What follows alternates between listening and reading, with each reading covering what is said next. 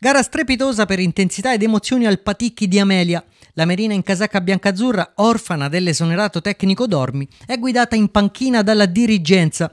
Gli arancioni di Montecchio cercano continuità dopo i positivi 0-0 con Federico Mosconi e Campitello. Pronti via i padroni di casa sono già in vantaggio. Pernazza lascia partire un cross da destra su cui si avventa maldestramente Dantimi, realizzando il più classico degli autogol. Gol importante ma per gli ospiti, come vedremo. Prima di scomparire, la Merina si fa ancora vedere dalle parti di Santucci. Il numero uno è abile a togliere dall'incrocio una precisa punizione di De Santis.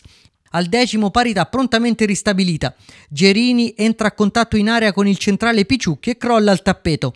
Senza esitazione l'arbitro Fieri di Terni indica il dischetto scatenando le ire dei locali.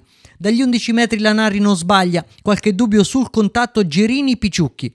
Il Montecchio prende saldamente in mano le redini di un match che inizia a guidare al ventesimo. Gerini, servito dalla destra, controlla un pallone completamente solo da strette marcature e lo scaglia di sinistro nell'angolino dove Ciuco non può arrivare. Gol da applausi per l'attaccante 32enne. Il Montecchio è un fiume in piena e presto realizza anche il terzo gol. Questa volta è Lanari a fare tutto da solo, slalom in area tra i paletti difensivi biancazzurri e Ciuco infilato in uscita. Quinto gol in campionato per Marco Lanari. In chiusura di tempo torna sotto una Merina frastornata comunque. Il gran lavoro di Daniele Polleggioni in zona mediana viene premiato da De Santis, che infila sul palo più lontano. Gol capolavoro per il numero 10, l'ultimo dei suoi ad arrendersi. Nella ripresa ti aspetti la veemente reazione della Merina, ma la foga dei Ternani si esaurisce dopo 9 minuti. L'occasione più ghiotta capita tra i piedi di Polleggioni. In corsa il centrocampista ex Orvietana lascia partire una conclusione su cui si supera un Santucci in giornata di grazia. Al venticinquesimo gli Amaranto chiudono i giochi. E ancora Lanari a colpire dopo la progressione di Zaganella. Il diciannovenne difensore scambia con Viel prima di servire un assist al bacio per Lanari che con la solita freddezza insacca il definitivo 4-2. Da qui alla fine è uno show degli ospiti che iniziano a bersagliare Ciuco.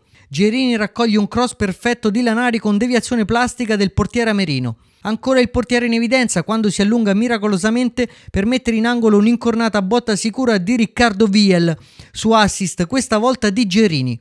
Le emozioni si chiudono con la conclusione di un volitivo Valeriani, ma Santucci, per non essere da meno acciuco, respinge a salvaguardia del 4 a 2 finale. Si conclude dopo 5 minuti di recupero un incontro ricco di emozioni che propone il Montecchio di Maccari come una delle outsider del girone dopo una partenza stentata. Il sostituto di Dormi avrà il suo bel da fare ad Amelia per ricostruire fisico e morale di una squadra solo lontana parente di quella scaturita dal mercato estivo.